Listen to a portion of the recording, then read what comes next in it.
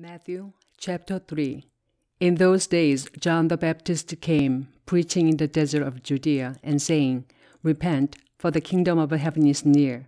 This is he who was spoken of through the prophet Isaiah, a voice of one calling in the desert, Prepare the way for the Lord, make straight paths for him. John's clothes were made of camel's hair, and he had a leather belt around his waist. His food was locust and wild honey. People went out to him from Jerusalem and all Judea and the whole region of the Jordan.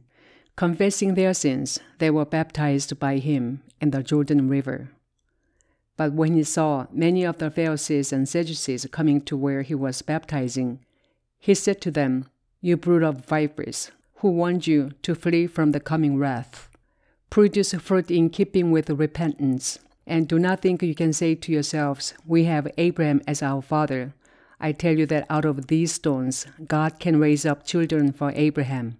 The axe is already at the root of the trees, and every tree that does not produce good fruit will be cut down and thrown into the fire. I baptize you with water for repentance, but after me will come one who is more powerful than I, whose sandals I am not fit to carry. He will baptize you with the Holy Spirit and with fire. His winnowing fork is in his hand and he will clear his threshing floor, gathering his wheat into the barn and burning up the chaff with unquenchable fire. Then Jesus came from Galilee to the Jordan to be baptized by John.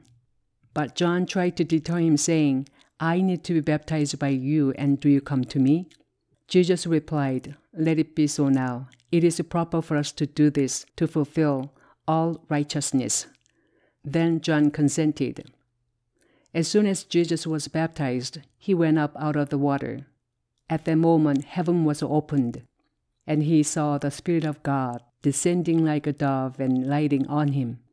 And a voice from heaven said, This is my Son, whom I love. With him I am well pleased.